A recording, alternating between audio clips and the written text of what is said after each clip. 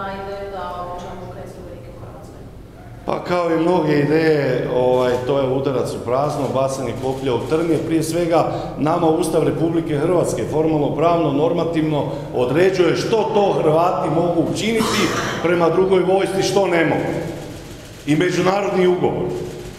U Ukrajini šaljemo sve što možemo slati u okviru svojih mogućnosti, s njima smo dajemo moralnu potporu, međutim, za omogućavanje njihovoj vojsci koja nije članica NATO pakta na području Republike Hrvatske trebaju biti ispunjeni ustavni uvjeti, broj 1, broj 2 treba biti spreman hrvatski narod na rizik da nam legalna vojna meta bude negdje, ne znam gdje će, gdje bi to se obučavalo, dronova ruskih, to nije ratno zločinački, Rusi su u ratu s Ukrajinom i imaju pravo svugdje boriti se protiv te vojske, pa i na području Hrvatske.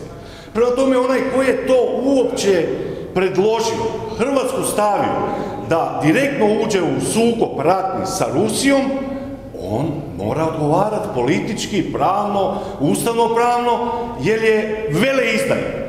Hrvatski narod odlučuje o tome koja vojska će doći na njegovo područje u skladu sa Ustavom Republike Hrvatske ovdje u Saboru. To nije odluka čak niti između predsjednika vlade, gospodina Plenkovića i predsjednika države. Tu je odluka na hrvatskom narodu, odnosno na Hrvatskom saboru. To je prvo.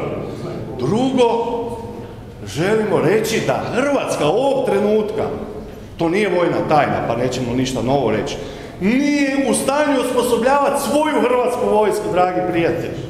Pa mi nemamo svoje mladosti gdje obučavati zadnjih 25 godina. Žali Bože Ukrajinac ako dođu u Hrvatsku da ih obučavamo kao što obučavamo naše novake e, od, e, tisuću, od 2008. godine mi smo propustili obučiti 300 tisuća hrvatskih novaka za primit pušku u ruke. Prema tome, Ukrajinci, radite sve što možete u okviru svojih mogućnosti, ali Hrvati vas ne mogu vojno u ničemu obučiti.